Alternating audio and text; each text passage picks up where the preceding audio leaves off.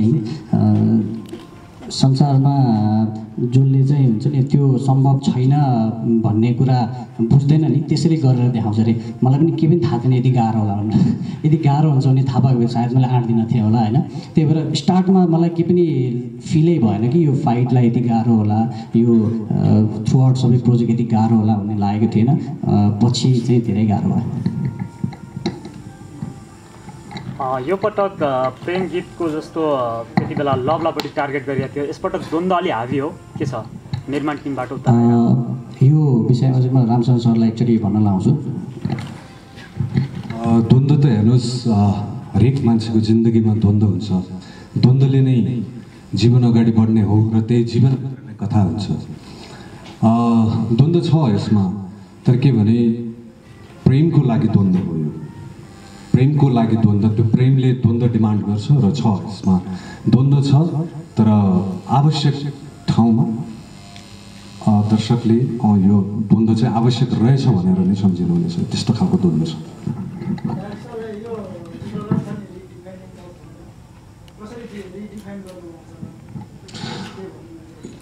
यो कस्तो हुँदो रहेछ भने मेरो अनुभूति हो यो चाहिँ व्यक्तिगत अनुभूति।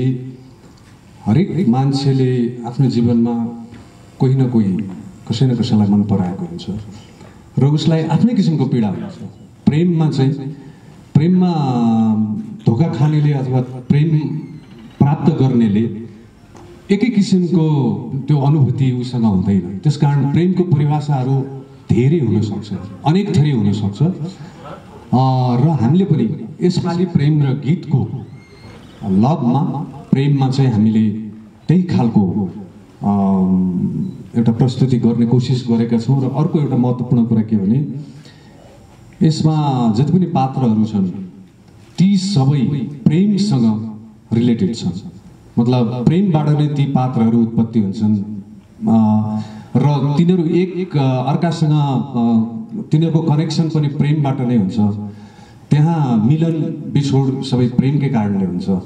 त्यस कारण यो चाहिँ म्यानमारदेखि नेपालसम्मको जस्तो म्यानमारको नेपालीहरूले नेपाललाई गर्ने प्रेम थाइल्यान्डको नेपालीले नेपाललाई गर्ने प्रेम अनि नेपालको नेपालीहरूले उनीहरूलाई कसरी बुझेका छन् यी धेरै कुराहरू यसमा चाहिँ प्रेमगीत दुईमा दर्शक महानुभावहरूले हेर्न पाउनुहुनेछ।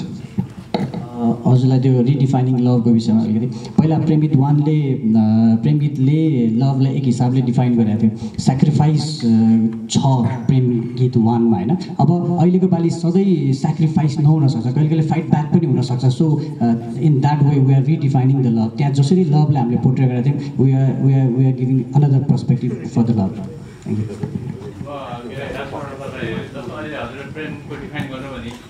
यो अरूको प्रेम नदेख्ने कथा लेखाएर आफूले आफूले भएको प्रेमलाई थ्याङ्क यू सर होइन? यो यस्तो हो।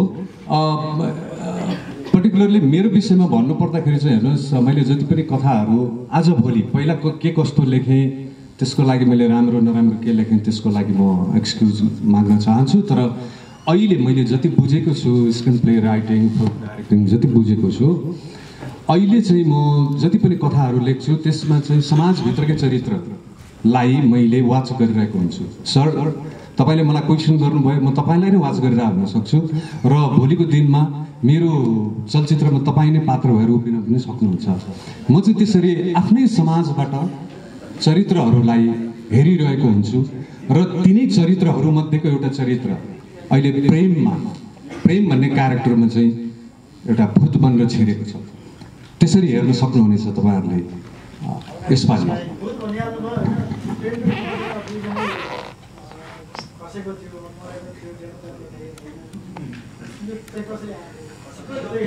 होइन यो हाम्रो सुशील सर होइन?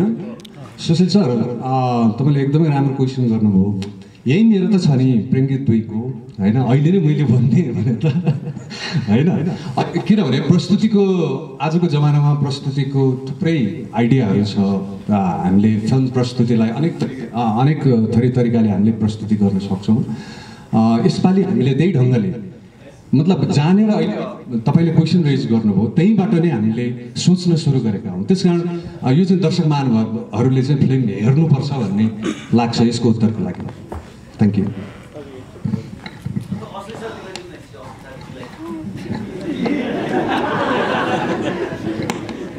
हजुर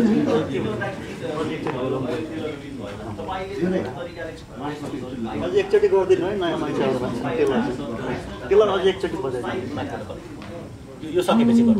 रेस्पोन्स राम्रै छ जस्तो लाग्छ। सबैले माया गरिदिनु भयो। अब यहाँ ट्रेलर अहिले भर्खरै हेर्नुभयो सो अब अब चाहिँ अडियन्सको रेस्पोन्सको वेट छ मलाई ट्रेलर पछि।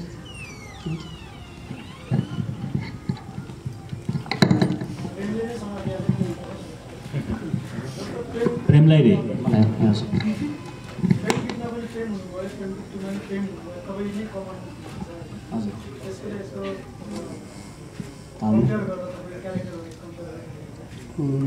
क्यारेक्टर अलिकति डिफ्रेन्ट नै छ. त्यो गेटअपले पनि देखाउँछ होइन? एउटा फेज छ। सायद त्यो भिडबाट झर्दाखेरि टाउको ठोकेर अलि याददास याददास गएको कि है त्यस्तो पनि हुनसक्छ अथवा नयाँ जन्म पनि हुनसक्छ। अलिकति डिफ्रेन्ट चाहिँ डिफ्रेन्ट छ। वानको जस्तो रुम चाहिँ प्रेम चाहिँ छैन। योपालि अलि स्ट्रङै अरू केही? पुरुदाईको नामै आएन खै के हो? होइन नाम त धेरैको आएन। ट्रेलरसँग अहिले तत्काल यहीँ आइरहेको मात्रै भएको हो। पुरुषोत्तमजी आफ्नो काममा व्यस्त हुनुहुन्छ उहाँ डेफिनेटली आउनुहुन्छ रिलिजको बेलामा अरू पनि थुप्रै साथीहरू हुनुहुन्छ। भर्खर आउनुभयो गणेशजीहरू उहाँ हाम्रो मिक्सिङ गर्ने मुकेश शाहजी मेरो उतापट्टि एड मिक्स गर्दै हुनुहुन्छ उहाँ आउनु पाउनु भएन। मेरै कामले गर्दा उहाँ आउनु पाउनु भएन। र ल सर हजुर सर यसमा अँ, पुरुषोत्तमजी भएको फिल्म हामी सुटिङमा। यहाँहरूको ऊ चाहिँ उहाँ फिल्मको सुटिङमा हुनुहुन्छ र उहाँ चाहिँ उहाँ उहाँसँग यहाँहरूको जिज्ञासा डेफिनेटली रहन्छ। त्यो हामी फिल्म रिलिजको बेलामा। त्यो चाहिँ मेरो बाचा हो। गुरु मेरो एकदमै नजिकको भाइ हो। म उहाँलाई ज जबरजस्ती लिएर आउनेछु। मेरो प्रश्न है जस्तै चलचित्र दिपेन्द्र सरकारको पनि एक खालको ब्यानर्समा भइसकेको छ हजुर। हरेक चलचित्रमा तपाईँले वेट गेनको कुरा धेरै आउँछ। होइन त्यो फिजिकली त्यति बढी देखिँदैन। होइन अलिकति भएको छ प्रेम गीत वानबाट प्रेम गीत टूमा कति वेट गेन हुन्छ अराउन्ड सेभेन एट केजी होला। तर यस्तो छ त्यहाँ हाम्रो क्यारेक्टर अहिले देखिन्छ भने त्यो एउटा मार्सल आर्ट फाइट हो। त्यहाँनिर त्यो बडी बिल्डिङ भन्दा पनि टेक्निक्स चाहिँ मोर इम्पोर्टेन्ट अनि प्लस त्यो एथलेटिक टाइप भएर त्यति धेरै बल नचाहिने भएर। अब दिपेन्द्र सरकारको बेलामा सायद के कस्तो रिक्वायरमेन्ट हुन्छ त्यही अनुसारले गर्नु पऱ्यो टुको लागि थियो चेन्ज पनि छ होला सायद होइन?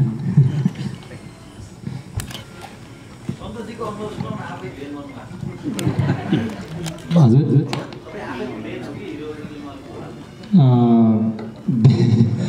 भिलेन नहुन पनि सक्छ। तर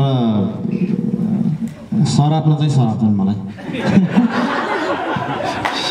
किनभने अलि जो हिरो बन्न आउँछ त्यसलाई चाहिँ नराम्रोसँग चाहिँ मैले सजाइदिएको छु कि फिल्ममा। त्यो हुनाले जस्तै प्रदीपको फ्यान अरूहरूको फ्यानले चाहिँ हलबाट निक्लिँदा चाहिँ मलाई याद गर्नुहुन्छ गाली गरेर। म फ्या बर्माको बर्माको हो। म खेलाडी हुन्छु कि त्यसमा? मुएथाई खेलाडी हुन्छु। अनि त्यहाँ त्यस्तै छ स्टोरी अब धेरै त छैन फेरि। मेरो बाह्र तेह्र सिन होला तर चाहिँ डेन्जर छ।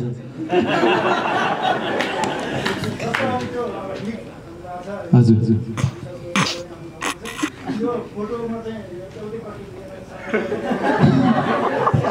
त हजुरले त याद गर्नु भएको रहेछ हजुरको दिमागलाई मान्नुपर्छ त्यो।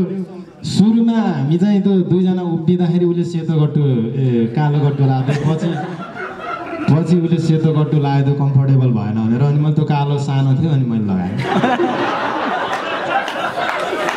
त्यसबाट थाहा हुन्छ कि त्यो लिकै भयो भनेर होइन? त्यो हामी ट्राई गरिरहेको बेला थियो कसलाई कुन सुहाउँछ भनेर होइन? अनि हिरोले व्हाइट लाउनु पऱ्यो अलिक पोजिटिभ दिन्छ है? गुन्डाले अलिक ब्ल्याक लाउनु पऱ्यो भने यस्तो जिस्किरहेको थियो त्यतिखेर। मान्न गउँछ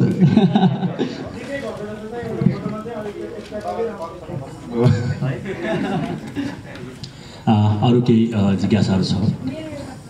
प्लिज पात्रहरू छ उहाँको नाम चाहिँ गीत कसरी रहन गयो म्यानमारको भाषामा गीत भन्ने केही धन्यवाद।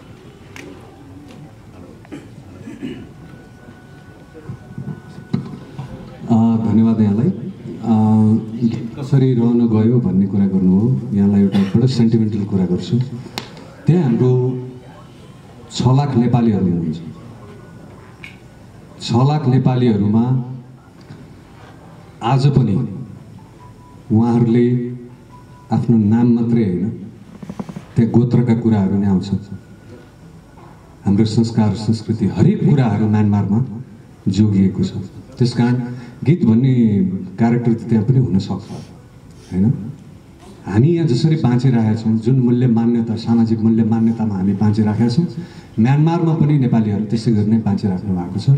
उहाँहरू भलै म्यानमारको नागरिक हो तर आफूलाई नेपाली भन्न रुचाउनुहुन्छ सायद तपाईँको प्रश्नको जवाब मिल्यो होला।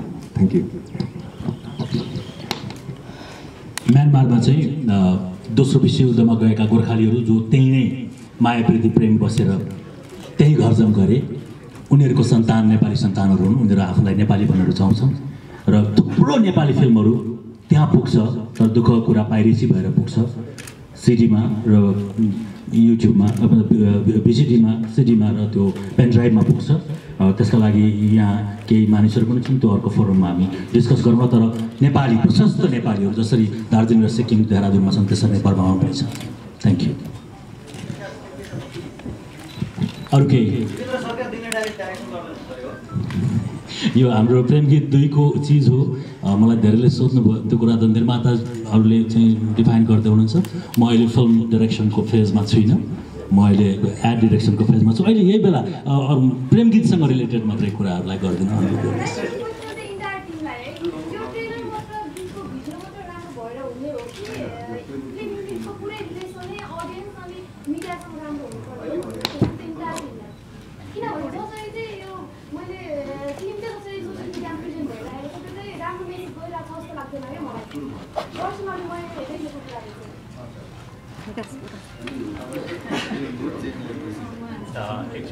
रिपिट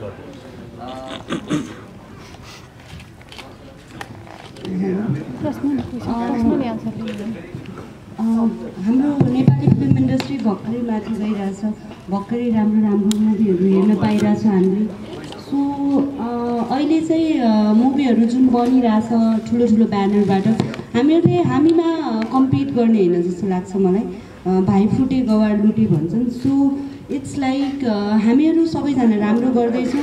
सो मिडियाले चाहिँ यस्तो क्वेसन सोध्नुहुन्न लाइक कम्पिटिसन फेयर भइरहेछ। अनि त्यो कारणले चाहिँ राम्रो मेसेज जानुपर्छ जस्तो लाग्छ। सो हजुरहरू चाहिँ गेटवे हो राम्रो मेसेज पास गरिदिने।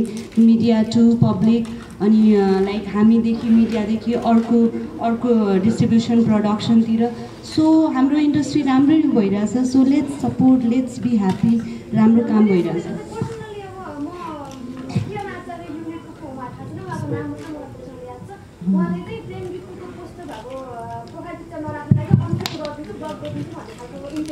यस्तो यस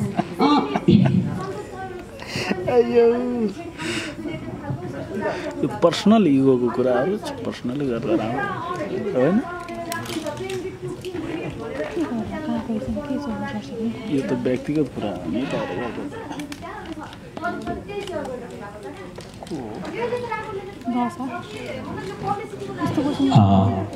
ओके यसको यसको विषयमा म बोल्छु मलाई बोल्न दिनु। चलचित्र रिलिज गर्दा विभिन्न प्रकारका फन्डाहरू हुन्छन् र सामाजिक सञ्जालमा आएका सबै कुराहरू न्युज होइनन्। यहाँहरूले गसिप र न्युजलाई छुट्याएर हेरिदिनको लागि नगरोस् यहाँहरू पत्रकार हुनुहुन्छ तपाईँहरूलाई थाहा पनि छ। तर गसिप गसिपकै रूपमा आएको हुन्छ र न्युज न्युजको रूपमा आएको हुन्छ। जब गसिपलाई मान्छेले न्युज मानेर कतै गइदिन्छ त्यसलाई पनि हामीले इन्डाइरेक्ट पब्लिसिटी नै मान्छौँ।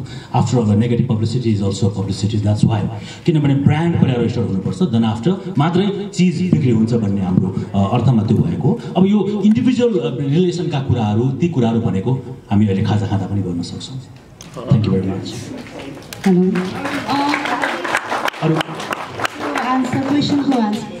गर्नु छ अँ, किरण आचार्य भएको थियो। उहाँ एसोसिएसनको मेम्बर त होला तर उहाँ पर्सनल प उहाँ पर्सनल पब्लिक पनि हो नि। उहाँले आफ्नो पब्लिक फिलिङ्स राख्नुहुन्छ भने त्यो उहाँको प्रब्लम हो। तर प्रडक्सन हाउसले त्यस्तो गर्यो अथवा मुभीले त्यस्तो गर्यो भन्ने चाहिँ होइन। सो हजुरहरूले चाहिँ यो न्युजहरू छुट्याएर र यदि हाम्रो युनिटभित्रका कुनै मानिसका कारण कसैलाई इन्डाइरेक्टली थाहा नपाइकन चित्त दुखेको छ भने एसोसिएसन फिल्म्स प्रडक्सनको तर्फबाट म उद्घोष एकदमै सरी भन्छु क्षमा याचना माग्दछु। यसलाई नेगेटिभली नलिदिनु होला। र के हामी यसलाई औपचारिक रूपमा सिद्धिएको घोषणा गरौँ? हजुर। अलिकति अलिकति किरण सरले सायद त्यो स्टाटसले साइडमा एलओएल लेख्न बिर्सिनु भयो होला होइन? यस्तै नै स्माइली फेस हाल्न बिर्सिनु भयो होला होइन? त्यसलाई त्यसरी सामान्य रूपमा लिउँ। अनि त्योभन्दा बाहेकको कुरा चाहिँ त्यो तपाईँहरू हामीहरूप्रति लक्षित भन्दा नि उहाँको क्लोज सर्कल कसैलाई होला सायद होइन? त्यही हो अलिकति लेख्न मिस्टेक यस्तो यस्तो हालिदिनु पर्छ कि साइडमा होइन? अनि त्यसपछि अर्को के छ भने मैले सेयर गरेको छैन सायद म ट्याग भएको होला एउटा मैले सेयर गरेको छुइनँ। अनि अर्को मेरो फेक अकाउन्ट धेरै छन् कुन चाहिँ? मैले त्यो हेडिङहरू एक्ज्याक्ट थाहा भएन तर फिल्म लिक भएको भन्ने सेयर गरेको छुइनँ होला सायद है। म थाहा भएन म एकचोटि हेरेर। ओके अ, अ, अरू केही? हस् थ्याङ्क यू भेरी मच प्रेम गीत दुईमा आउनुभएका सम्पूर्ण पत्रकार साथीहरूलाई प्रेम गीत टू युनिटको तर्फबाट एउटा सानो सानो सरप्राइज पनि छ। हामी मल्टिटास्किङमा राख्छौँ यो हाम्रो युनिटलाई पनि चाहिँ ऊ हुनेछ।